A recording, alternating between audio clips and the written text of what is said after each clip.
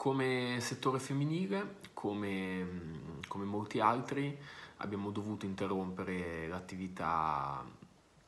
i primi di marzo eh, senza salutarci perché ovviamente non sapevamo eh, le tempistiche eh, dello stop.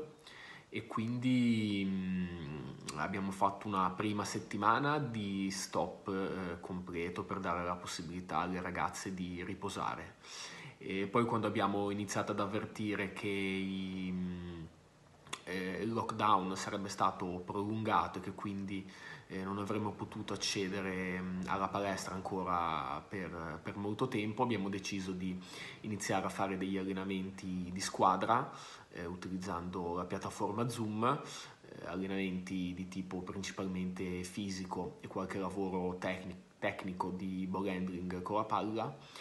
allenamenti che avevano sia degli obiettivi ovviamente di eh, lavoro fisico individuale, ma principalmente lo scopo era quello di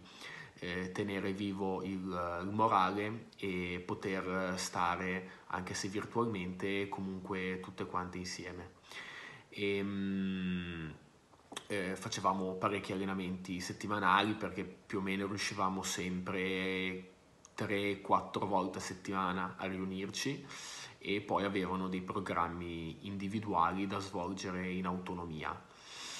Per quanto riguarda invece la ripartenza, proprio in questi giorni, eh, siccome il sentore è quello che a breve, verso metà maggio, fine maggio, ci sia la possibilità di riniziare, eh, stiamo provando ad organizzare non con poche difficoltà perché ovviamente c'è l'ostacolo della sicurezza, ehm, ci sono le esigenze di staff, degli allenatori, le esigenze eh, dei ragazzi, dei giocatori che comunque hanno, devono svolgere delle,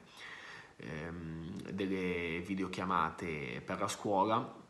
e quindi eh, in questo momento stiamo provando a riorganizzare l'attività eh, per poter ripartire il prima possibile, ovvero appena ci viene data eh, la possibilità. Ovviamente il lavoro sarà eh, individuale, alterneremo del lavoro tecnico a del lavoro atletico e, mm, e niente, sicuramente sarà uh, come è stata un'occasione questa comunque per lavorare eh, da un punto di vista fisico, eh, quella che si prospetta per i prossimi mesi, si, anche lì non sappiamo,